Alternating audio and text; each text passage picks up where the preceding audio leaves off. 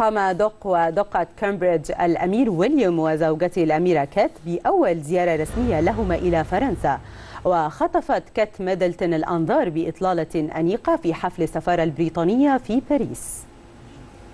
والآن